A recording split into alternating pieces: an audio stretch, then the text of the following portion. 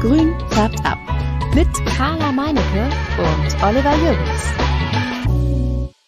Hallo ihr lieben Substratis. Heute bin ich wieder mit einer Kurzfolge für euch da. Und zwar sprechen wir heute über Kakteen oder auch Kakteengewächse genannt. Und ähm, ja, ich hoffe, ihr habt in den letzten Wochen das heiße Wetter äh, genießen können. Ich meine, es ist einfach wirklich heiß und es macht keinen Spaß langsam mehr. Es sollte viel mehr regnen. Die, die Böden sind viel zu trocken. Wer sich da so ein bisschen mit beschäftigt hat, weiß, wovon ich spreche. Und ähm, ja, ich, also für mich persönlich ist es einfach, ähm, ja, was soll ich sagen, die absolute Hölle. Es ist viel zu heiß und das geht nicht so mir nicht nur mir so, sondern auch den Pflanzen. Und ähm, dann hatte ich auch letztens eine kleine ähm, Story gemacht bei Instagram. Da ging es auch um Kakteen und ähm, hatte da von meiner Tante den Kaktus geteilt, der erfolgreich äh, vermehrt wurde. Und hatte euch gebeten, mir Fotos zu schicken. Und äh, da kamen so viele schöne Fotos von euren Kakteen. Dann habe ich mich kurz entschlossen und ähm, mache heute eine Folge deswegen über Kakteen. Kakteen sind, ähm, ich hätte es gar nicht selber gedacht, ich hätte jetzt einfach gedacht, so keine Ahnung, das ist so ein ja, so ein Ding, das da so, so ein Kolben, der da aus der Erde wächst. Aber es gehört zu den ausdauernden Sträuchern und manche Kakteen sogar zu Bäumen. Finde ich total interessant. Aber das ist eher selten, dass das ein Baum ist, sind eher Sträucher. Hätte man jetzt auch so vom Aussehen gar nicht gedacht, weil so ein Strauch ist ja eher so was mit vielen Ästen und so. Aber man wird immer wieder überrascht. Was ähm, auch noch so ein Fun Fact Side ist, ist, ähm, dass Kakteen keine Stacheln haben, sondern Dornen. Stacheln haben nur Rosen und die Kakteen besitzen ja auch diese ganzen vielen Dornen. Und da habe ich mich zu Beginn auch direkt gefragt, als ich so ein bisschen ähm, recherchiert habe, so, was ist es denn jetzt eigentlich? Und es sind Dornen. Diese Kakteen leben ja auch eigentlich schon ganz schön lange. Also wenn man die zu Hause hat, dann, dann überdauern die ja eigentlich alles. Jeden äh, noch zu trockenen Monat überstehen sie. Und auch hier habe ich mich gefragt, wie lange lebt so ein Kaktus eigentlich? Also, weiß nicht, meine Monstera geht auch irgendwann mal in die Knie, wenn sie dann alt genug geworden ist. Das ist ja auch mit Obstbäumen so, dass sie dann auch irgendwann sagen, ja, jetzt gehen wir mal so langsam nach und nach ein. Der Stamm wird marode und ähm, die Früchte werden nicht mehr getragen und die Kakteen können richtig alt werden. Also es gibt Kakteenarten, die können 13 Jahre, also bis zu 13, 15 Jahre alt werden und dann auch Kakteenarten, die bis zu 200 Jahre alt werden. Das finde ich so spannend. Diese Kakteen werden natürlich auch riesig, wachsen dann auch etwas langsamer Oh ja, das ist äh, Wahnsinn, was äh, die für, für eine Lebenserwartung haben. Also wenn man den Kaktus schenkt, sagt man ja eigentlich, das tut man nicht. Aber es ist doch eigentlich eher so ein Commitment für ähm, was Langanhaltendes, finde ich. Eine unter den ähm, Instagram-Followern und Hörern, gehe ich mal von aus, hat uns auch ein Bild von ihrem Kaktus geschickt. Das war die Königin der Nacht und die blühte gerade. Es sah total schön aus. Und ähm, ja, dann äh, natürlich Kakteen blühen. So vermehren sie sich nicht nur durch, ähm, ja, wie nennt man das denn? Hm. Stecklinge? Nee, es sind keine Stecklinge. Man schneidet oder bricht auf jeden Fall vom Kaktus ein Stück ab und dann kommt da unten, also lässt es so antrocknen und dann kommen unten die Wurzeln raus. Ich weiß gar nicht, wie man das nennt jetzt gerade. Naja, ist auch nicht wichtig. Also sie vermehren sich aber auch über Blüten und ähm, diese Blüten sitzen meist einzeln oder in Gruppen zusammen. Die können 5 mm klein sein und bis zu 30 cm groß werden. Manche Blüten sind auch so groß, dass sie schon größer sind als der Kaktus selbst. Das ist total Wahnsinn.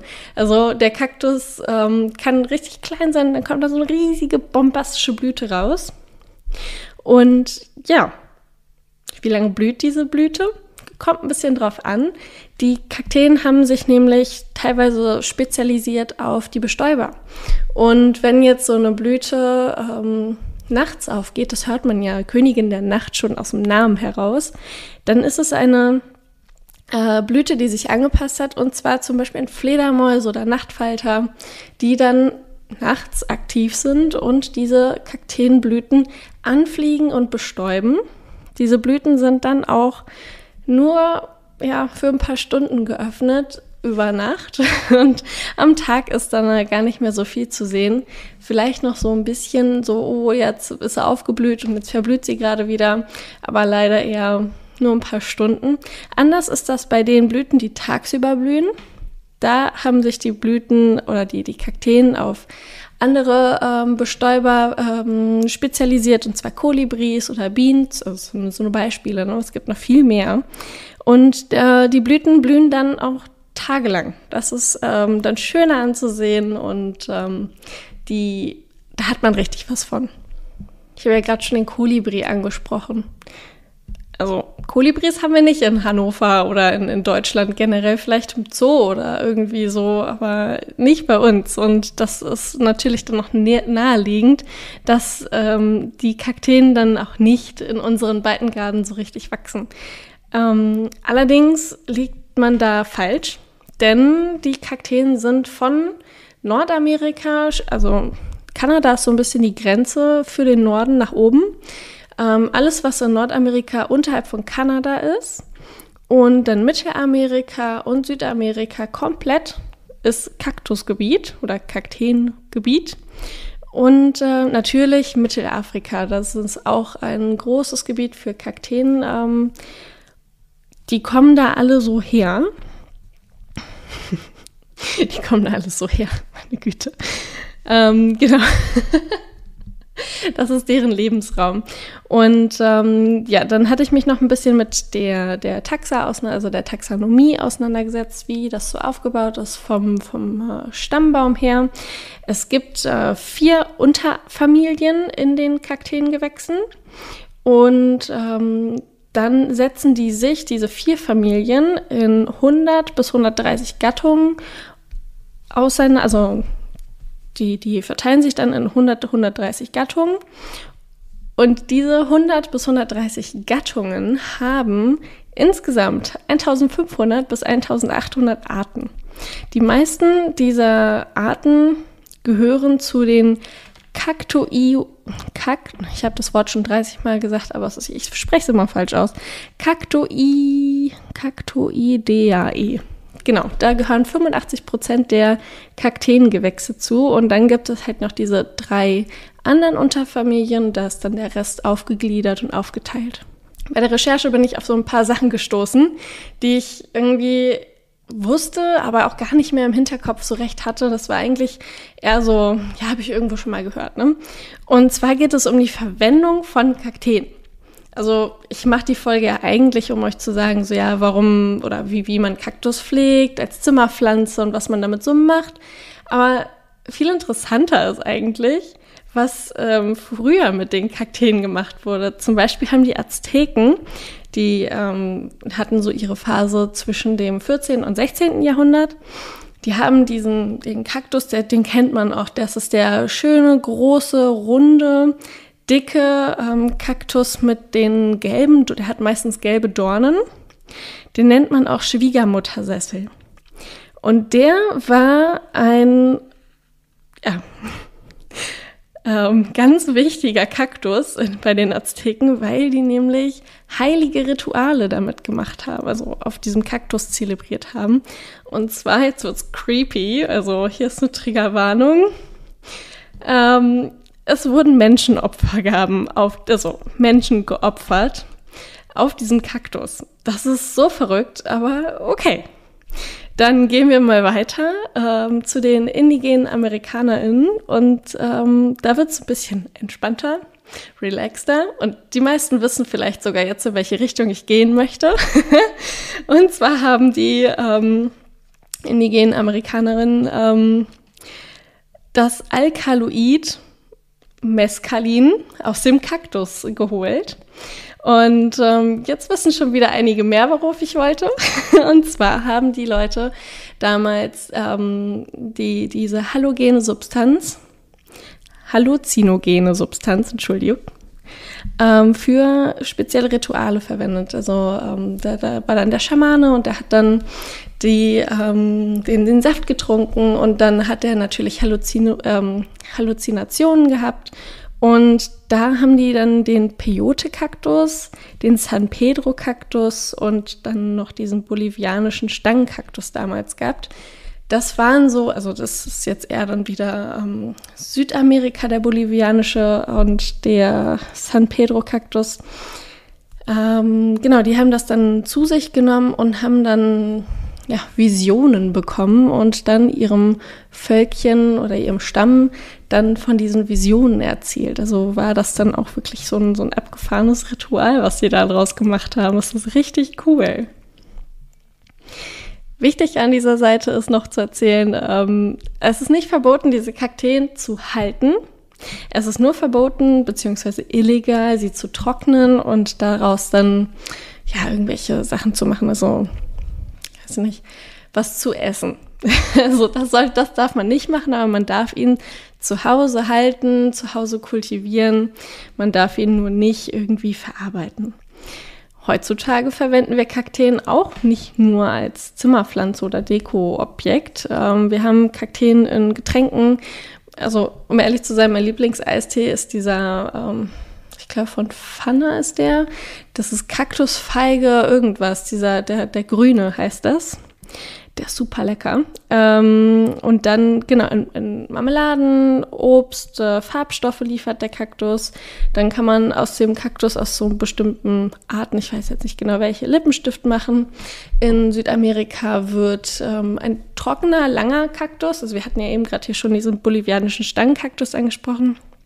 Wenn so einer zum Beispiel getrocknet ist, wird der als Bauholz verwendet. Und dann gibt es noch Kakteen, die ähm, in der Pharmazie verwendet werden und natürlich, deswegen sind wir alle hier, weil er einen dekorativen Effekt in der Wohnung hat und super pflegeleicht ist. Bei meiner weiteren Recherche bin ich dann auch noch auf so eine kleine True Crime Story gestoßen. Das ist ja mein ja, Lieblings-Podcast-Bereich. Ähm, so, so True Crime höre ich richtig gern und deswegen wollte ich es auch unbedingt mit reinbringen. Und zwar ähm, gibt es seit vielen Jahren auch immer wieder sehr aufflammend einen Schwarzmarkt für Kakteen. Und da werden dann seltene Kakteenarten aus dem Ausland durch Raubbau ähm, importiert nach Europa irgendwo hin, wo halt jemand was haben möchte. Und ähm, warum wird das gemacht? Weil Kakteen teilweise so selten sind, dadurch, dass sie langsam wachsen, dass, sie, dass die Nachfrage nicht so hoch ist und der Sammler den unbedingt haben möchte oder dass ähm, ja, der einfach auf dem normalen Wege nicht zu bekommen ist, Schrägstrich viel zu teuer. Und da hat sich dann dieser Schwarzmarkt etabliert. Das ist auch so ein richtiges Ding. Also das ist... Äh, pff, ja, Wahnsinn. Und dabei wird dann halt aus dem Herkunftsland der Kaktus aus der freien Wildbahn ausgebuddelt und hierher verschickt. Er muss nicht unbedingt hierher verschickt werden, wie in diesem Fall jetzt. Er kann auch in einem, auf einem anderen Weg nach äh, Deutschland in diesem Falle gelangen. Und zwar hat 2003 ein 62-Jähriger ein Jahr auf Bewährung bekommen und musste 1000 Euro Strafe zahlen, weil er 900 Exemplare von 18 geschützten Arten aus Mexiko geschmuggelt hat in vier Koffern. und das ist in Frankfurt am Zoll aufgefallen oder er wurde rausgezogen. Und ähm, ja, der Zoll hat natürlich dann alles beschlagnahmt und ähm, dann ist vor Gericht gegangen.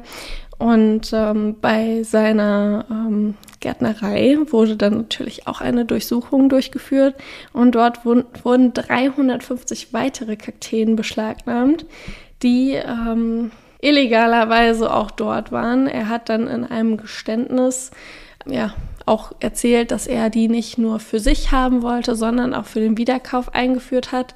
Da hat er deswegen auch ein bisschen so eine Strafmaßlinderung äh, bekommen. Aber ja, seine Argumentation war auch die allergeilste. Er sagt nämlich, ja, im Herkunftsland ist es eigentlich egal, ob da der Kaktus steht oder nicht. Er hätte sie gerettet, denn sie wären sonst dem Straßenbau oder der Landwirtschaft zum Opfer gefallen. Es ist natürlich nicht richtig. Er hat aber irgendwo einen ganz interessanten Punkt getroffen. Es ist, es ist so und so. Auf der einen Seite juckt es niemandem im Herkunftsland, auf der anderen Seite haben wir hier unsere Regularien. Es ist natürlich schwierig, dann da irgendwie zu sagen, so ja, wissen wir, aber hier ist es halt falsch. Auf der anderen Seite finde ich es irgendwie ganz niedlich, das als Argument zu nehmen. Und ähm, ja, naja, auf jeden Fall. Was ist eigentlich mit den Kakteen dann passiert? Die Kakteen stehen nun im Palmgarten. Also die, die überlebensfähig waren, waren natürlich durch den Transport auch ein bisschen beschädigt, ähm, wurden dann in den Palmgarten ähm, gebracht und dort stehen sie jetzt auch noch. Ein ja, Fakt am Rande dazu, zu diesem Schwarzmarkt für Kakteen ist, dass jährlich am Zoll ca. 5000 Kakteen beschlagnahmt werden, die artengeschützt sind. Also es ist wirklich ein Riesending. Hätte ich nicht gedacht. Aber hört man auch irgendwie immer wieder mal so, das ist auch eins von diesen Dingen, so habe ich schon mal gehört, aber habe ich jetzt gar nicht mehr so auf dem Schirm gehabt. Das ist genauso auch wie mit diesem Peyote-Kaktus. Habe ich schon mal gehört, dass der Halluzi halluzinogene Wirkungen hat, aber habe ich auch nicht mehr drüber nachgedacht. Deswegen das fand ich jetzt eigentlich ganz cool, nochmal mit reinzubringen. Und ähm, ja, würde ich auch zum Schluss kommen und über die Pflege erzählen. Der Kaktus steht ja sehr gerne in der Hitze und wir denken meistens so, ja, okay, gar kein Problem, stech direkt in die Mittagssonne, der kann das ab, das ist gar kein Thema. Doch, das ist ein Thema. Und zwar muss man auch hier den Kaktus, wie alle anderen Pflanzen, erstmal an diese starke Sonne gewöhnen. Vor allem jetzt in unseren aktuellen Monaten, es ist jetzt gerade Juni, es ist super heiß. Die Sonne scheint ohne Ende, was natürlich schön ist, aber der Kaktus kann auch da Verbrennungen erleiden und deswegen sollte man auch hier gucken, was habe ich für eine Art? Was braucht die? Wie mögen die es am liebsten? Kann ich sie daran gewöhnen oder sollte ich es eher lassen? Und äh, ja, dann kommt natürlich mit der Sonne auch, dass das schneller verdunstet, das Wasser in der Erde. Und hier ist ganz wichtig zu beachten, ähm, dass die Erde vom Kaktus einmal austrocknet. Und dann gießen wir richtig durchdringend stark, wie so ein Regenschauer in den Tropen den Kaktus von oben, ähm, aber so, dass halt kein Wasser oben drauf steht natürlich. Und ähm, genau, die Erde soll dann einmal richtig klitschnass sein. Und dann lassen wir ihn wieder in Ruhe für so ein, zwei Monate. Es kommt immer darauf an, natürlich, wie es verdunstet. Wenn jetzt halt das heiße Wetter ist, geht das sehr schnell bei kleinen Töpfen. Bei großen Töpfen kann es auch schon länger dauern. Und dann kann man ja natürlich auch den Kaktus nochmal so ein bisschen so einen Energieboost geben. Und zwar durch regelmäßiges Düngen in der Wachstumsphase. Das mögen die auch sehr gerne man denkt immer so, ah, der wächst ja nicht so schnell, der braucht schon nichts. Doch, der braucht auch was. Der hat nämlich auch schon ganz schön viel zu tun, wenn er da das Wasser speichert und diese Hitze aushalten muss. Dann freut er sich auch über regelmäßiges Düngen, am besten mit so einem Kakteendünger. Zimmerpflanzendünger wird natürlich auch gehen. Ähm, und dann haben wir ja vorhin schon über die Blüte gesprochen, dass der Kaktus auch blüht. Und das tut er in den meisten Fällen, das kommt hier auch natürlich auf die Art drauf an, wenn er eine Winterruhe einhält. Das heißt so, ja, nicht unter 5 Grad, aber auch nicht über 15 Grad zwischen Oktober und Februar. Ich hatte auch ja so, so einen Schwiegermuttersitz-Kaktus, äh, den die Azteken damals hatten. Und wie gesagt, ich hatte ihn mal. Ich habe nämlich auch gedacht, so, ja, cool, wir haben Wintergarten hier hinten gehabt. Stellst du den einfach mal raus über den Winter, passt schon, gar kein Thema. Ja, das waren dann minus 10 Grad draußen. Der Kaktus fand es nicht so cool. und hat leider die Biege gemacht. Oh. Ihr hört aber auch immer von mir, dass der Kaktus oder irgendeine Pflanze eine Biege gemacht hat. Ich habe so viele Pflanzen schon gehabt. Oh, furchtbar. Also die Pflanzen, die ich jetzt habe, die leben alle. Die sind alle happy. Bis vielleicht auf die eine Scindapsus ähm, auf dem Kühlschrank, die sehr ignoriert wird. Aber das ist okay. Das ist okay, da leben wir mit. Und ähm, Genau, wenn ihr ähm, einen Kaktus habt, müsst ihr den auch irgendwann mal umtopfen. Also durch das regelmäßige Düngen muss man den auch nicht regelmäßig umtopfen, sondern ähm, erst so alle drei bis vier Jahre, weil der auch sehr langsam wächst, hat auch ein sehr langsames Wurzelwachstum. Das heißt, dass der das nicht so schnell ausfüllt und ähm, da ist natürlich ähm, Kakteen und Sukkulentenerde super. Die hat dann Sand drin und äh, schön Drainage und das ist alles auf die Kakteen und Sukkulenten abgestimmt. Da seid ihr auf der sicheren Seite und gut bedient. So, jetzt ist Schluss für heute. Ich wünsche euch einen wunderschönen Start in den Tag oder eine gute Nacht, wie auch immer. Immer schön den Finger ins Substrat. Piekst euch nicht an den Dornen des Kaktus und bis dann. Ciao. Grün färbt ab.